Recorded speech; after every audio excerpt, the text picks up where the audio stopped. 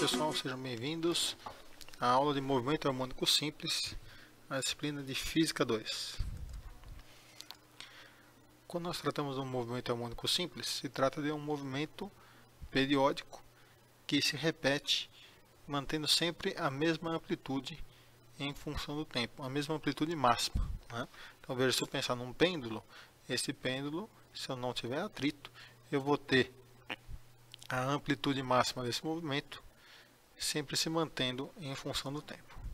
Então, por exemplo, se eu pensar ali é, é, que eu não tenho uma força de atrito, ou seja, não há uma dissipação de energia e que a energia se conserva, eu vou ter que a amplitude máxima do movimento vai sempre se manter em função do tempo. Ok? Tudo bem? Essa é a ideia do movimento harmônico simples. Então, quando a gente vai pensar em modelar é, um movimento periódico na natureza, o modelo mais simples é o estudo do movimento harmônico simples, onde eu desprezo qualquer perda de energia e considero que a energia se conserva, portanto a amplitude máxima do movimento se conserva. Gente possa estudar isso em, de uma forma, ah, de um equacionamento, promover então um equacionamento matemático desse fenômeno, nós vamos estudar um sistema massa-mola.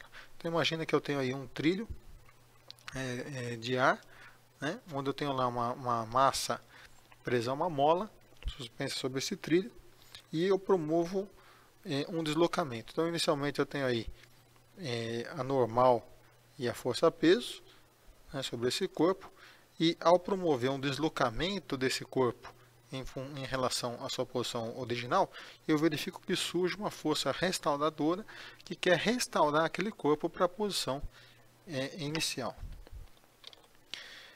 Observe que essa força restauradora ela é oposta ao deslocamento. Então, se o deslocamento for para a direita, eu tenho uma força restauradora para a esquerda e vice-versa.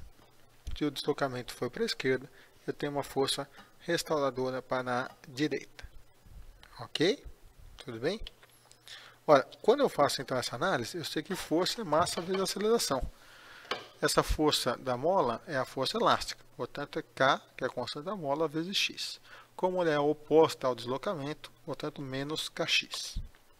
Então massa vezes aceleração é igual a menos Kx. Vou jogar, colocar todos os termos de um único lado da equação. Eu tenho então, dividindo por m, eu tenho que a aceleração mais k sobre m vezes x igual a zero. Ora, a aceleração é derivada segunda da posição em função do tempo. Eu chego aí numa equação que é chamada então equação diferencial de segunda ordem. Então nós modelamos aquele fenômeno físico como uma equação diferencial. A solução dessa equação diferencial vai ser serão os valores de x que atendem a essa equação. Né? No caso, vocês vão aprender isso depois em cálculo 2, como é que você resolve essa equação diferencial e nós podemos dizer que a solução dessa equação diferencial é dada por uma função é, é, senoidal ou cossenoidal. Então, no caso aqui, x de t é igual a uma amplitude vezes cosseno de ômega zero vezes t mais θ zero. O que, que é esse ômega zero? Esse ômega zero é a frequência angular natural né, de oscilação. Esse θ zero é a, a, o deslocamento inicial que eu tenho aí em termos de ângulo desse movimento. Então eu tenho o A que é a amplitude, ômega zero é a frequência angular natural e o θ zero é a fase inicial desse movimento. Se eu derivar a equação da posição em função do tempo, eu vou ter então a equação da velocidade. Observe ali que a derivada de cosseno é menos seno, e como eu tenho ali também o tempo dentro do argumento, né, ao derivar ômega t, né, eu vou, esse ômega vai sair para fora da equação. Se eu derivar novamente, eu passo a ter então a equação da aceleração em função do tempo. Né? Observe então que fica então, com a derivada segunda, derivando novamente, fica menos A ômega ao quadrado cosseno de ômega zero t mais θ zero. Observe que é, é, se eu pegar a equação de posição né, e, e, e, a equação de, de, aceleração, eu vou ter o seguinte, ó, substituindo a equação de posição na equação ali é, é, de x de t, eu tenho que lá a equação da aceleração. Né? Vou pegar a equação da aceleração e vou substituir aqui a aceleração d2x dt2 e o x. Então, a aceleração mais k sobre m vezes x igual a zero. Quando eu faço isso, eu, tenho aqui ou isso aqui é zero ou isso aqui é zero. Logo, eu chego que a frequência angular natural é igual a raiz de k sobre m. Então, consigo determinar a frequência angular de oscilação em função da constante da mola e da massa que está oscilando. Se o cosseno fosse zero, eu teria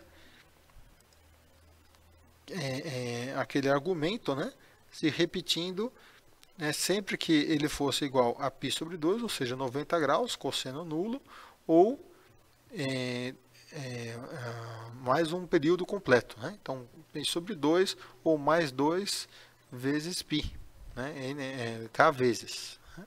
Se o k for igual a 1, ou seja, tem uma única volta ou um período, eu vou repetir novamente esse argumento igual a zero. A partir daí, então, eu tenho aqui ômega zero vezes t0 vai ser igual a 2π.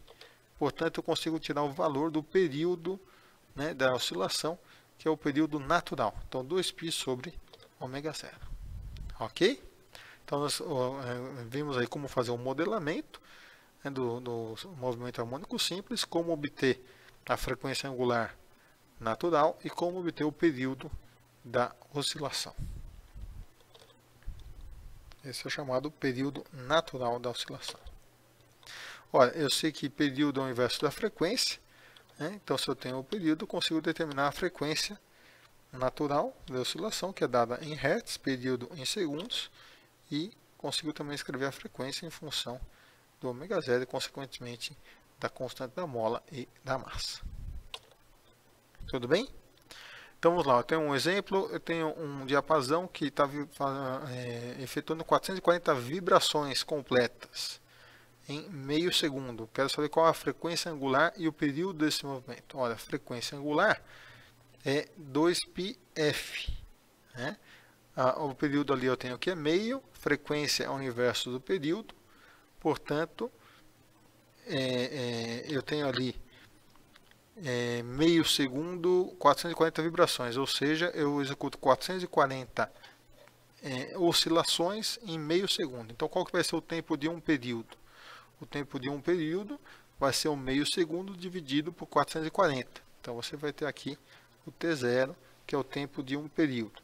O ômega 0, 2π é, sobre T0, uma vez que você achou o T0, você vai achar é, o ômega 0. Ok? Tudo bem? Vamos pegar aqui um outro exercício. Eu tenho aqui um gráfico que ele me dá a posição em função do tempo. Né? Veja, por que, que eu, é o gráfico é, uma, é um gráfico senoidal? Se eu tenho um movimento oscilando em torno de um eixo, quando eu faço esse movimento oscilar em torno do eixo e vario isso em função do tempo, eu vou verificar que eu vou ter um movimento senoidal ou cossenoidal. Né? O que, que eu consigo extrair aqui desse gráfico? Consigo extrair Veja que ele sai de uma posição inicial e retorna àquela posição inicial exatamente 16 segundos depois. Então, eu consigo extrair daí o período que eu tenho dessa oscilação. Né? Se eu tenho o período, com o inverso do período, eu acho a frequência, que é 1 sobre o período. Né? Se eu tenho a frequência ou o período, eu acho a frequência angular 2πf ou 2π sobre o período natural. E a amplitude eu vejo diretamente com a amplitude máxima, que o movimento chegou, no caso aqui, 10 centímetros. Ok? Tudo bem? Então, o período natural está aqui, ó, 16 segundos, que é o tempo que ele leva para executar um ciclo completo. A amplitude, amplitude máxima, aqui 10, 10 centímetros. Frequência 1 sobre o período. E frequência angular, 2π vezes a frequência. Vamos pegar aqui um outro exemplo. Eu tenho uma máquina que executa um movimento harmônico simples com uma frequência de 5 Hz e uma amplitude de 1,80 centímetros. Eu quero saber quanto tempo demora para ela ir de uma posição 0 até a posição 1,8 1,80 é, centímetros negativo. Ora, se ela está, é, é, se eu tenho a frequência, o inverso da frequência vai me dar o período. Né? Então a frequência é 5, o período vai ser 1 sobre 5, 0,2 segundos. É, Para ela executar ali, ó, de 0 até a amplitude máxima negativa, significa que ela foi de 0 até a amplitude máxima, retornou, foi para a amplitude mínima e voltou. Como é que você vai verificar isso? Você tem o T, o tempo que ela vai levar vai ser o que? É, vai ser um quarto né, do, período que ela, do, do período total, porque ela foi de zero até o máximo, depois foi do máximo até o mínimo e retornou. Né? Então, se ela foi do zero até o máximo, até o mínimo e retornou, cada trecho aqui ela está levando um quarto de tempo, um quarto do período. Né? Para ela ir até aqui, ela está levando é, é, é, um quarto de tempo para ler de zero até o mínimo. Né? De zero até o mínimo. Ok? Portanto, um quarto do período total. Vamos para outro exercício. Um laboratório de física, uma massa de 0,200 kg é conectada a uma mola que desliza sobre um trilho de ar. O tempo transcorrido entre a primeira vez que o deslizador passa pela posição de equilíbrio e a segunda vez é 2,60 segundos. Determine a constante da mola. Ora, quais são os dados que eu tenho? Ele me deu a massa, né? E me disse aqui, ó, que o tempo que ela leva para ir da posição de equilíbrio até a segunda vez que passa por esse ponto. Olha, se ele saiu aqui do máximo, saiu do máximo, foi até a posição de equilíbrio, foi até o mínimo e voltou para a posição de equilíbrio. Né? Depois volta para o máximo novamente. Então, aqui eu tenho exatamente meio período. Então, 2,60 é meio período. Se eu tenho o período, né, eu consigo achar a frequência. Se eu acho a frequência, eu acho a frequência angular. Frequência angular e a massa, eu vou determinar a constante da mola. Ok? Tudo bem? É isso aí. É, por último, eu tenho aqui o exercício 13.7. Eu tenho um corpo que ele tem uma massa desconhecida e ele me deu aqui a constante da mola. Esse corpo vibra com uma frequência de 6 Hz. Qual é o período do movimento? Olha, se eu tenho a frequência, frequência inversa da frequência vai me dar o período. Frequência angular é 2π vezes a frequência, eu acho diretamente. E se eu tenho a frequência angular, né? Se eu tenho a frequência angular, eu consigo achar a massa, porque frequência angular é igual a raiz de K sobre M. Eu tenho a frequência angular, tenho K, portanto, acho a massa do corpo.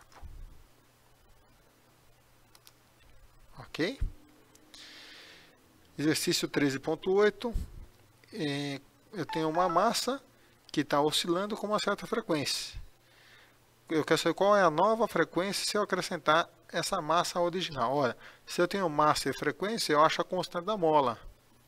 Se eu tenho uma nova massa que está se somando, a nova massa com a constante vai me dar nova frequência. Consegue achar então qual a frequência que é, é, eu vou, passo a ter.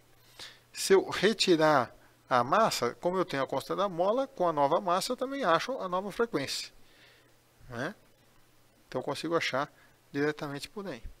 Como que eu poderia achar sem determinar a constante da mola? Ora, eu sei que é, é, ômega é 2π, é, é 2π é vezes f. Né? Se eu tenho é, a frequência, bastaria substituir ali a, a, a, no lugar do ômega o raiz de k sobre m, porque obviamente eu tenho que relacionar ali a massa, né? e poderia determinar é, é, pela variação que eu tenho em função da massa, né, para determinar qual é o acréscimo ou decréscimo percentual que eu vou ter em função sem ter que calcular a constante da mola. Ok? Aí calculo diretamente por porcentagem. No exercício 13.9, eu tenho aqui uma massa de meio quilo e uma mola com uma constante de 140 Nm. Como é que eu vou achar o período? Olha, primeiro eu vou determinar a frequência angular, raiz de K sobre M. Uma vez achada a frequência angular, é igual a 2πf, eu acho a frequência, e o inverso da frequência eu acho o período. Então aí consigo calcular todas as variáveis. Ok? É, nesse outro exemplo, eu tenho aqui um objeto que executa um MHS, me deu um período de 1,2 segundos e uma amplitude de 0,600 metros. Em t igual a zero, o objeto está em x igual a zero. Aqui, distância da posição de equilíbrio, o objeto está quando t igual a zero, 480 segundos. Ora, ele me deu é, o período, com o período eu acho a frequência e acho a frequência angular. Ele me deu a amplitude e ele me deu aqui a posição inicial. Né? Me deu que a posição inicial é x igual a zero para t igual a zero. Com isso eu consigo achar qual é a fase inicial do movimento. Né? E a que distância da posição de equilíbrio ele vai estar nesse tempo? Uma vez que eu achei a, a amplitude, que eu tenho a amplitude, tenho a frequência e tenho a fase, basta substituir na equação do movimento, eu vou achar qual é a distância que ele se localiza. Ok? Tudo bem? Então você tem aí uma série de exercícios tão recomendados para que você possa estar estudando, aprofundando e reforçando os conceitos que foram trabalhados aqui na aula de hoje. É isso aí, pessoal, e até a próxima aula.